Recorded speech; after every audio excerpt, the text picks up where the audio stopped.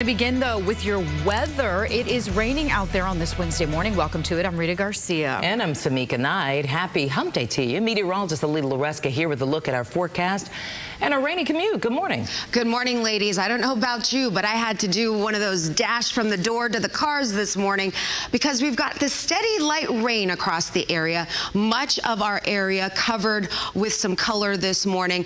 If you remember yesterday, I told you over South Texas, that leading edge of moisture would be drifting northward, and that has verified. Now, the disturbance that was over the Bay of Campeche that we've been watching the last couple of days no longer has any formation odds to form into anything tropical. However, the moisture from that is definitely helping to bring us this steady light rain this morning. And here you can see our local radar showing some pockets of moderate rain further out to the west. Otherwise, just a nice, gentle rain falling for us. It is going to make for a very slick ride this morning. Those of you in the Brazos Valley seeing some of the lightest of uh, that intensity, some of the heavier pockets down along the coastline. And when you take a look at future track, for the next few hours, it's going to stay like this. We may start to see some clearing on the northwest side of town out toward the hill country first as we get closer toward the sun coming up, but it's not really until lunchtime where we start to see a lot of that rain getting shoved off toward the east. That's as that disturbance,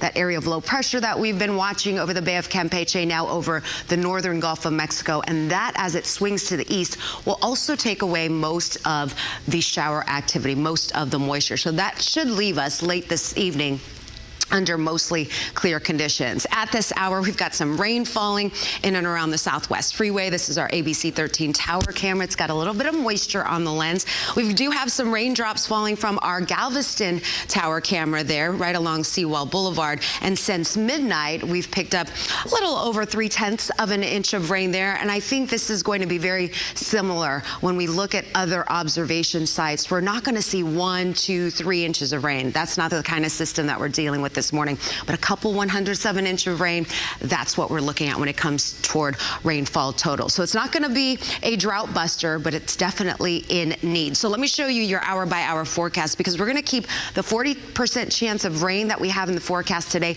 mainly in the morning. And then those rain shower chances drop off as we get into the afternoon. Temperature wise, it's going to be noticeably cooler. Temperatures, I think, only warm today, somewhere in the low to mid 70s. We're talking about our next cold front front, though, I've got the new timeline for you and what's ahead for the weekend coming up. On a um, wet Wednesday, everybody, I'm Rita Garcia. And I'm Samica Knight. Happy hump day to you.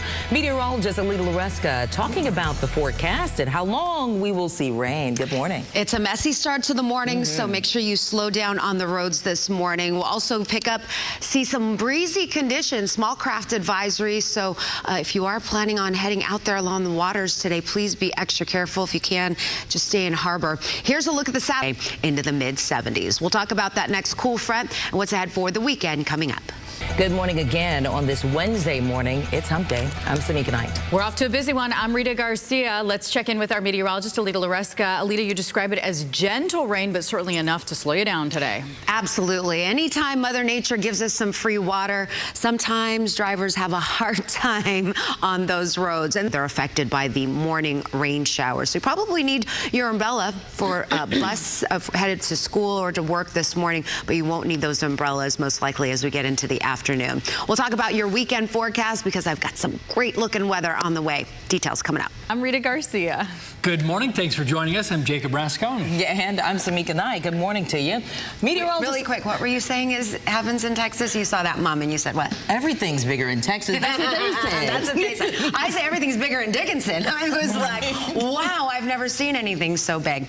Out the door, rain cooled in the upper 60s. Uh, meanwhile, the dew point temperatures in the upper 60s. We are getting a nice little cool break with some of this rain, my friends, and because of the clouds and the rain-cooled air, temperatures will not warm all that much. I know last couple days we've been somewhere in the low 80s. I think this afternoon we'll manage to see highs only warm into the 70s. So here's a look. This is the past six hours. So it's been raining fairly steady, steadily, but it's been very light rain, and you can see some of those rain showers are now starting to thin out. That will be the pattern as we get into the afternoon. So for the next few hours, expect that rain to be uh, ongoing with some of the heaviest of that rain over the last six hours falling down closer to the coastline. So most areas are picking up less than a tenth of an inch, maybe a couple more one hundredths of an inch of rain, and then this is blowing out of here.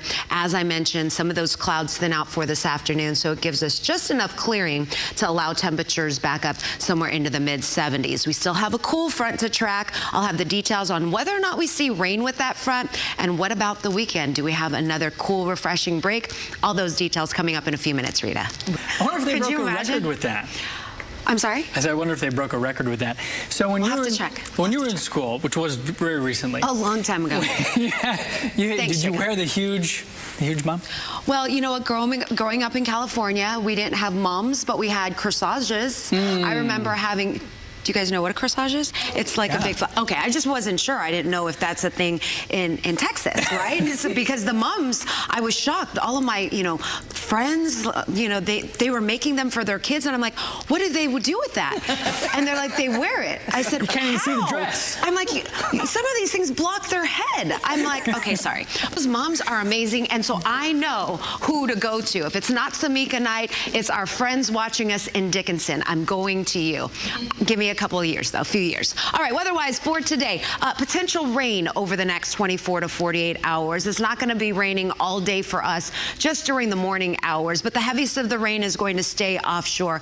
We've been fairly consistent with that messaging since earlier in the week when we started to see confidence that this area of low pressure that's developed over the Gulf of Mexico, non-tropical, does not have a name, but nonetheless, and we talked about this yesterday, regardless of not having a name, it's got a lot of moisture, and that's what's getting tugged in our direction. Some of the moisture from Lidia also moving in our direction. That made landfall last night and will continue to track over the northwestern parts of Mexico, and all of its moisture is heading in our direction. But here's that area of low pressure that I just mentioned. Here is a look, the latest from Future Track. This is going to continue to stay to our south. Notice the heaviest of the rains. It's just to the east where the center of circulation is. We're kind of on the northern fringes, and as that continues to track toward the east, we say bye-bye to the rain. I know we need the rain, and thankfully, uh, it's been fairly steady. It's going to remain steady again over the next few hours. You can see that over the next 12 hours, I'm going to keep that rain chance, at least inland areas,